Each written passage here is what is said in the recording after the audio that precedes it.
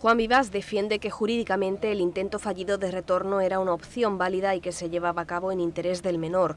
Aún así, el Ejecutivo acata las resoluciones de la justicia y está poniendo los medios necesarios para poder realizar este procedimiento conforme a la ley. Ahora eh, se, nos obliga eh, a realizar el procedimiento de retorno con la aplicación del reglamento de la ley de extranjería y estamos poniendo los medios para que se lleve a cabo.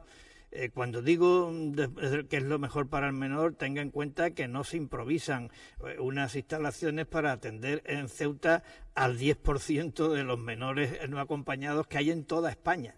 El presidente ha señalado que este asunto no solo afecta a nuestra ciudad, sino que es una cuestión de Estado y lo ha explicado con una comparativa. Los episodios de mayo equivaldrían a que en Madrid entrase medio millón de personas. Cuando las capacidades de respuesta de índole mm, temporal o estructural em, se, desbordan y de una manera tan notable, todo el mundo sale perdiendo y en primer lugar los propios inmigrantes y, y, todavía más si se trata de un ámbito tan sensible como es el de la infancia y la adolescencia. Viva sentencia que la solución debe estar en el retorno asistido con las debidas garantías y destaca una vez más el carácter solidario de la sociedad ceutí.